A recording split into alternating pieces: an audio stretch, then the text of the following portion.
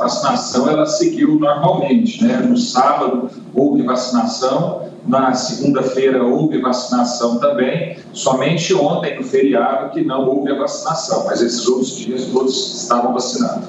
Então, está feita aí a correção. Então, ah, e hoje, é, que, quem é o público? Qual o público que está sendo visado é, nessa vacinação de, que, que tá, foi retomada hoje? Então, a vacinação, ela segue agora numa abrangência total. Existem os adolescentes, existem aquelas pessoas com mais de 18 anos, existe a primeira dose, existe a segunda dose, existe a dose de reforço, a chamada terceira dose, e para isso a Secretaria Municipal de Saúde disponibiliza 76 pontos é, difundidos aí, esparramados por toda a cidade.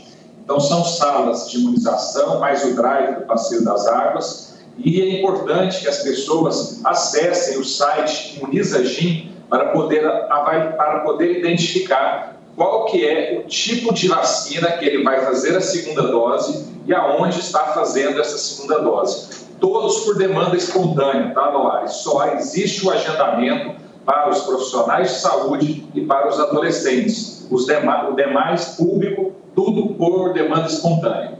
Secretário, o índice de pessoas em Goiás, e Goiânia também não é diferente, é que não estão indo tomar a segunda dose, é, chama a atenção. O senhor acredita que essas pessoas não estão indo tomar a segunda dose porque são resistentes, são negacionistas, não querem tomar vacina, é, porque é, não tem tempo né, de ir nos horários que os postos estão abertos, ah, ou porque o posto às vezes é longe de casa?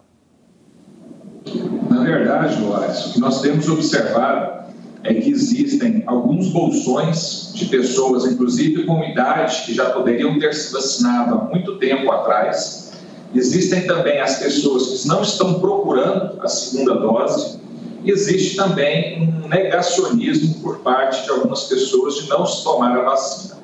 No que diz respeito ao compromisso e responsabilidade do poder público, nós identificamos essas pessoas que estão em situação de vulnerabilidade que não conseguem ir até a vacina e a vacina está indo até essas pessoas. A vacina vai até os assentamentos, vai até as regiões mais pobres e mais afastadas da cidade, justamente pelo conhecimento que os agentes endêmicos e os agentes comunitários de saúde têm dessa população. Quanto aos jovens, existe um negacionismo que nós observamos de não procurar para fazer a, a vacinação. Hoje a vacina ela não exige nenhum agendamento, não exige nada de programação, basta a pessoa se dirigir a uma dessas unidades com o cartão, com um documento com foto para identificação, comprovante de endereço. O agendamento é somente para aquelas pessoas que estão entre 12 e 17 anos e os trabalhadores de saúde, porque esse público utiliza uma vacina específica que ela ainda possui uma certa restrição do número de doses e por isso é necessário fazer esse agendamento. Secretário, algumas cidades estão fazendo uma espécie de um arrastão por região. Não seria o caso de mudar a estratégia, tentar de repente, é, vamos imaginar, hoje o arrastão é na região leste, aí aqui na TV, carro de som, sei lá, qualquer coisa aí, é, ou depois na região noroeste. É, um arrastão não, seria, não teria é, eficácia? Na, verdade, Luares, nós já estamos fazendo isso já há muito tempo. Essa busca ativa ela é feita cotidianamente pelos agentes comunitários de saúde e é justamente o que nos tem permitido identificar esses bolsões de pessoas. Estamos levando a vacina diretamente a essa população. São populações mais frágeis, populações que estão ali é, é, é em situação de praticamente linhas finais da, da cidade, já em limites é, geográficos e muitas vezes em assentamentos, sem a mínima estrutura de ter capacidade de deslocar uma unidade de saúde, bem como ter um transporte para vir a um drive.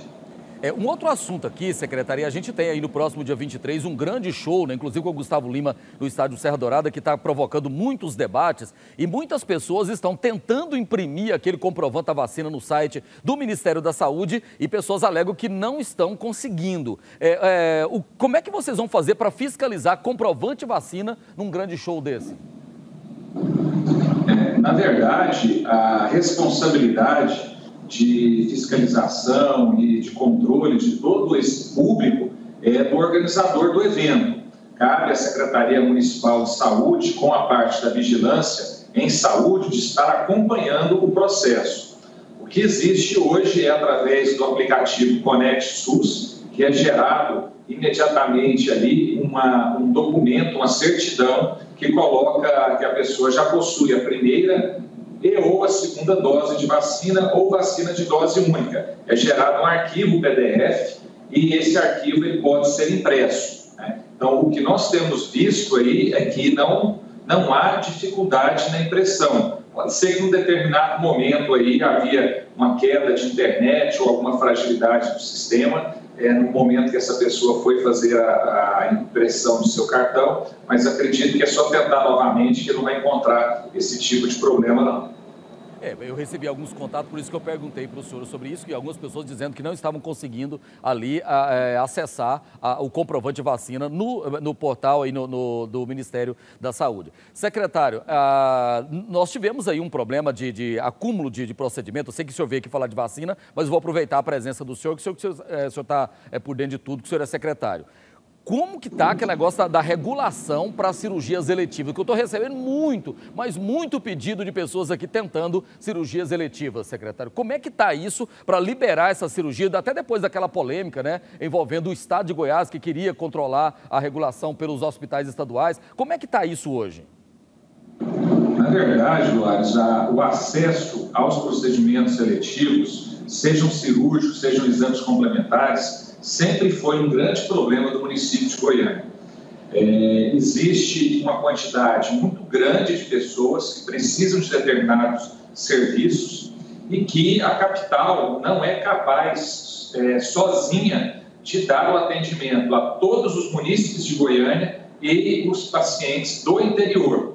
Por isso, a importância da regionalização da saúde em determinados aspectos no Estado é fundamental para que as cirurgias de menor complexidade e os, e os exames de menor complexidade possam ser solucionados regionalmente.